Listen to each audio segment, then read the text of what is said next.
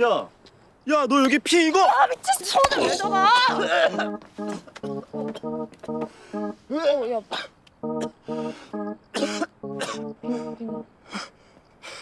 야, 사귀는 사이에 손도 못 잡냐? 맞다, 맞다. 아, 너가 갑자기 잡고 그러니까 놀래가지고. 어? 아니 맞은 건 난데 왜왜 네 얼굴이 빨개져? 어? 무슨 아닌데? 가로등 때문에 그런가? 근데 나 가야겠다. 잘 가. 어? 뭐야?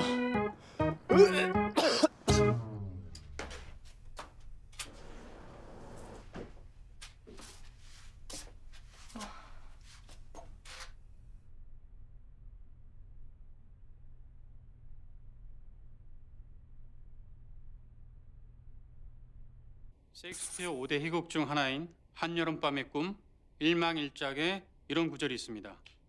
아무리 쓸모없고 비천한 것이라 해도 사랑은 그것들을 가치 있고 귀한 것으로 바꿔놓을 수 있다라고 하는 구절이 있어요. 즉 이것은 사랑은 눈으로 보는 게 아니라 마음으로 보는 거라고 하는 셰익스피어 작가의 아주 강력한 사랑의 힘을 강조하는 괜찮은데. 것이라 볼 수가 있죠. 오늘 고마워. 강의는 여기까지 하겠습니다. 고생하셨습니다.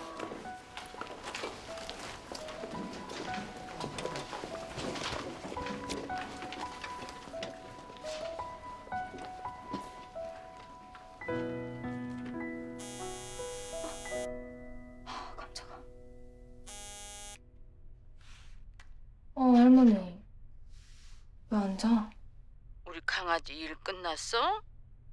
응. 기숙사 돌아왔어 이제 자려고. 오늘 별일은 없었고?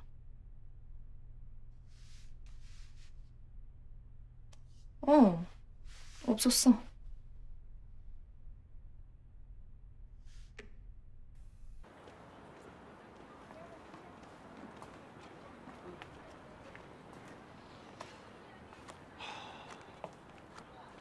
분명히 그때 강경주 멘탈이 흔들렸단 말이지.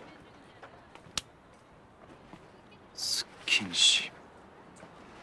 스킨십이라. 강경주, 우리 데이트하자.